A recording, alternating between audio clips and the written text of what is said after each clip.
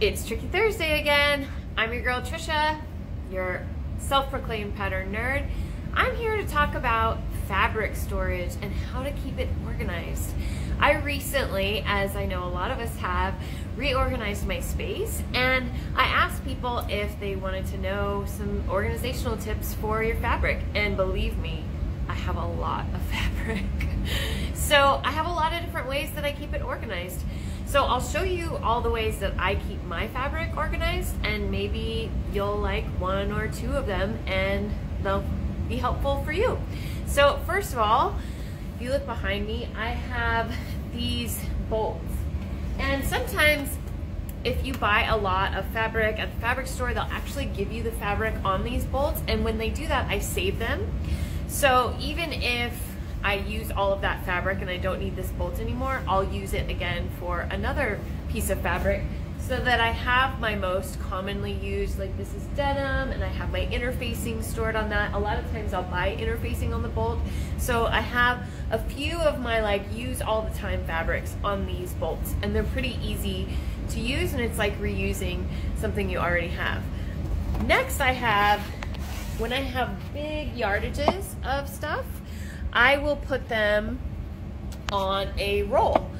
And the roll is really nice, especially if it's a fabric that's really heavy and would take up a lot of space somewhere else because the other way I like to store fabric is in these bins like this. And I like to get either wire bins or see-through bins, and I'll show you my other bin storage as well, because that way I can get an idea of what's in here.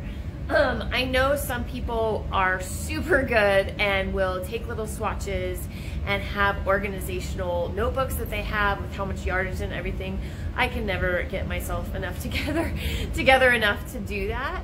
But I like to fold, like I put similar fabrics. So this is all of my stretch fabrics, stretch cottons. I also have spandex in here. Um, so cotton, spandex, and that sort of thing. And I kind of fold them. I try to keep like fabrics together.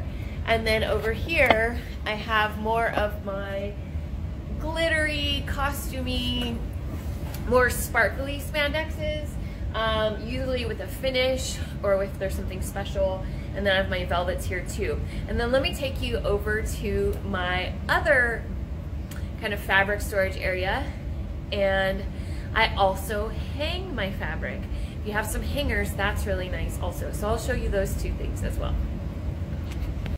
So over here I have more of my fabric bin storage and I like the clear ones a little better than the solid ones but as you can see I got a little fancy with some of the labels but you can just do anything you want but I can kind of already see what's in there and then I just have it neatly folded so that when I open the box I can see all of what I have.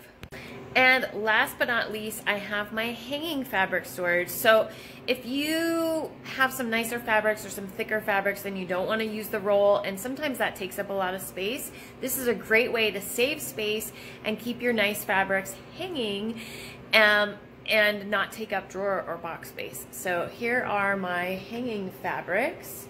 And you can see I just have them hung on regular hangers and I can still see what everything is. So it's a great way to also store your fabrics. I hope that some of these ideas were helpful in you organizing your fabric storage. Let's start 2021 off being organized. Talk to you later. See you next week.